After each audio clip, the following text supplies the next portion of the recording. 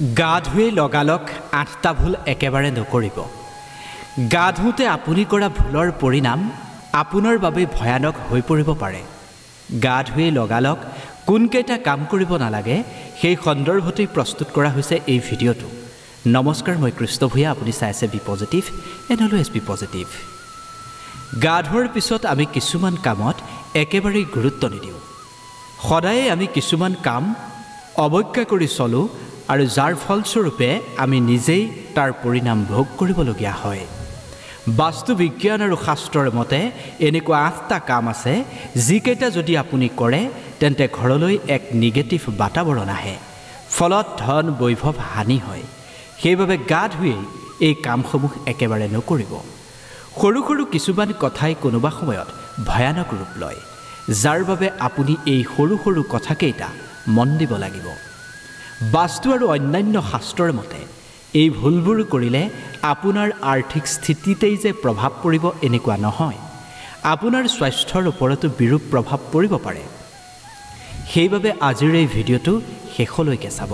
কাৰণ আজি আমি আপোনাক ক'ম গা ধুয়েই এনেকুৱা কি কি কাম আছে যিখিনি আমি ভুলতো কৰিব নালাগে। প্ৰথমটো কথা হ'ল বাথৰুমত গা ধুই উঠি আপুনি কি কি কথাত গুৰুত্ব দিব লাগিব। দেখা যায় বহুতেই বাথৰুমত গা ধুই উঠি বাথৰুমটো লেতেৰা কৰিয়েই এৰি আহে। এনেকুৱা কৰিলে বাস্তুদোষৰ স্বীকাৰ হ'ব পাৰে আপুনি। কেৱল ঘৰৰ দিশেই বাস্তুৰ সৈতে জড়িত নহয় আমাৰ দৈনন্দিন দিনপঞ্জীখনো বাস্তুৰ সৈতেই জড়িত। যদি আপুনি গা ধুই বাথৰুমত লেতেৰা অপৰিষ্কাৰ কৰি থৈ আহে তেন্তে সেইখিনিক মানুহৰ লেতেৰা স্বভাৱ বুলি কৈছে শাস্ত্ৰই। কেৱল সিমানেই নহয় গা ধোৱাৰ সময়তে বহুতেই আৰু কিছুমান ভুল কৰে যিখিনি বাস্তুৰ ফালৰ পৰা বহুত বেছি দোষপূৰ্ণ। সেইসমূহৰ বিষয়ে জনাৰ পূৰ্বে আপুনি যদি আমাৰ চেনেলটোত নতুন তেন্তে অনুগ্ৰহ কৰি চেনেলটো ছাবস্ক্ৰাইব কৰি দিব আৰু জীৱনত মা লক্ষ্মীৰ কৃপা পাবলৈ অনুগ্ৰহ কৰি কমেণ্টত যে মা লক্ষ্মী বা নমো নাৰায়ণ লিখিবলৈ একেবাৰে নাপাহৰিব। দুই নম্বৰ গা ধুই উঠি বাল্টি বা অন্যান্য পাত্ৰত লেতেৰা পানী এৰি আহিব নালাগে। এনেকুৱা কৰিলে মানুহৰ বাস্তু দোষটো লাগেই অন্যহাতে জ্যোতিষশাস্ত্ৰৰ মতে এনেকুৱা অভ্যাসৰ বাবে ৰাহু আৰু কেতু ৰুষ্ট হয়।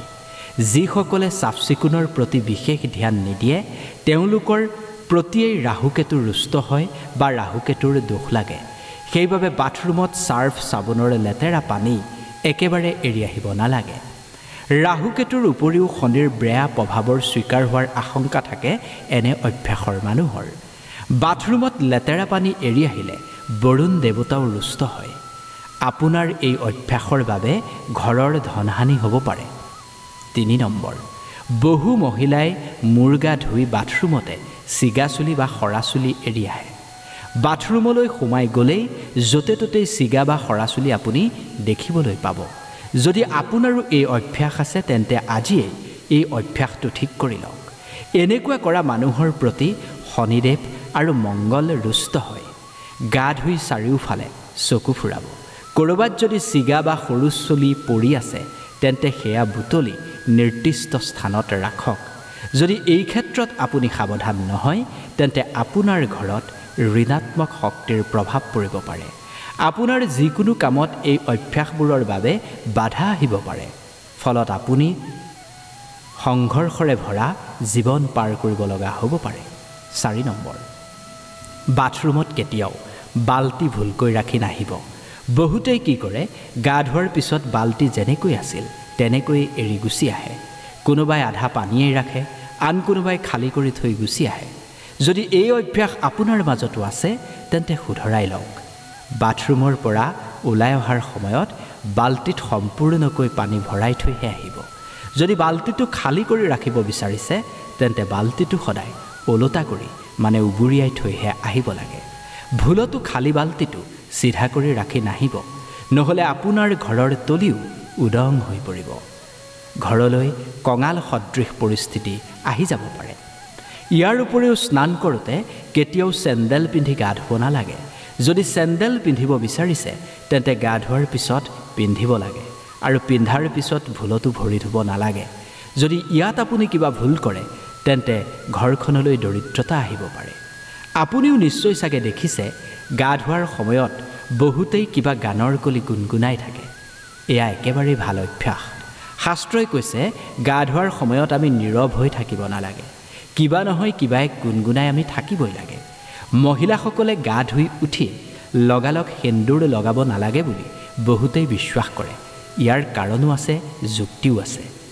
যেতিয়াই মহিলাসকলে গা ধুৱে তেতিয়া খালী পেটত থাকে আৰু গা ধুই আহিও খালী পেটতেই থাকে। খালী পেটতে সেন্দুৰ ল'লে স্বামীৰ আয়ুষত প্ৰভাৱ পৰে। ইয়াৰ বিপৰীতে মুখত কিবা নহয় কিবা এক লৈ বা ঘৰত যদি শিশু আছে একোলা লৈহে সেন্দুৰ ল'ব লাগে। বহুতেই বাথৰুমত নেইল কাটাৰ ৰাখে আৰু গা ধুই উঠিয়েই লগালগ নখ কাটে। এনেকুৱা একেবাৰে কৰিব নালাগে। এই কাৰ্য অতি অশুভন এনেকুৱা কৰিলে মানুহৰ ধনহানি হয়। পাঁচ নম্বৰ।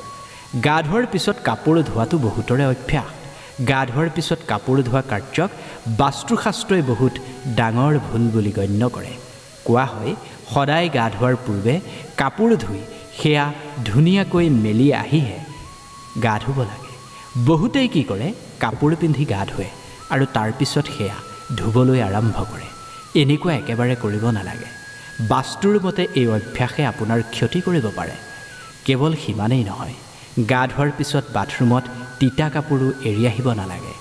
বাথৰুমত তিতা কাপোৰ এৰি আহিলে সূৰ্যদেৱ ৰুষ্ট হয়। সূৰ্যদেৱ ৰুষ্ট হ'লে মান সন্মানত প্ৰভাৱ পৰে। আপোনাৰ সন্মানহানি হ'ব পাৰে। আপোনাৰ প্ৰভুত্ব হ্ৰাস পাব পাৰে। গুৰুত্ব কমি যাব পাৰে। বাস্তুৰ দৃষ্টিকোণৰ পৰাও বাথৰুমত তিতা কাপোৰ থৈ আহিব নালাগে। সাত নম্বৰ। ভুলতো বাথৰুম খুলি থৈ আহিব নালাগে। বাথৰুমৰ দুৱাৰ সদায় বন্ধ কৰি আহিব। বাথৰুম খোলাকৈ থৈ আহিলে বেমাৰৰ চিকাৰ হ'ব পাৰে। শাস্ত্ৰই এইখিনিক নিগেটিভ দৃষ্টিকোণৰ পৰাই চায়। কোৱা হয় বাথৰুম এনেকৈ এৰিলে বাস্তুৱেও ইয়াক ঋণাত্মক শক্তি উৎপন্নৰ কাৰণ বুলি অভিহিত কৰিছে। এই অভ্যাসবোৰে ঘৰৰ যোগাত্মক স্তৰত প্ৰভাৱ পেলায় ফলত ধন সম্পত্তি হানি হয়। বাথৰুমৰ পৰা বীজাণুৰ সংক্ৰমণ হোৱাৰ আশংকা খুবেই প্ৰবল। যদি আপুনি বাথৰুমৰ দুৱাৰ খোলাকৈ এৰি আহে তেন্তে তাৰ পৰা সংক্ৰমণ হৈ স্বাস্থ্যত বিৰূপ প্ৰভাৱ পৰিব পাৰে যাৰ ফলত পৰিয়ালৰ স্বাস্থ্য মনোভাৱ আৰু সমৃদ্ধিত নিগেটিভ প্ৰভাৱ পৰিব। আৰু আঠ নম্বৰ গা ধুই বাল্টিত থকা লেতেৰা পানী পেলাই তাত পৰিষ্কাৰ পানী ভৰাব লাগে। আধা পানী এৰি আহিব নালাগে। আৰু যদি পিছৰ জন মানুহ বাথৰুমত সোমাইছে আৰু যদি বাল্টিত আধা পানী আছে তেনে ক্ষেত্ৰত সেই পানী একেবাৰে ব্যৱহাৰ কৰিব নালাগে। গা ধুওঁতে এই সৰু সৰু কথাকেইটা আপুনি মন দিব। গা ধোৱাৰ পিছত আপুনি লগালগ এই আঠটা কাম কেতিয়াও নকৰিব। যদি আপুনি শাস্ত্ৰই কোৱা নিয়মসমূহ মানি চলিব পাৰে তেন্তে আপোনাৰ দৈনন্দিন জীৱনত কোনো বিপদ বিঘিনিয়েই নহয়। আশা কৰিছোঁ আপুনি আমাৰ এই ভিডিঅ'টো চাই ভাল পালে। যদি ভাল পালে অনুগ্ৰহ কৰি লাইক কৰিব কমেণ্ট কৰিব শ্বেয়াৰ কৰিব আৰু চেনেলটো ছাবস্ক্ৰাইব কৰি দিবলৈ নাপাহৰিব। ধন্যবাদ।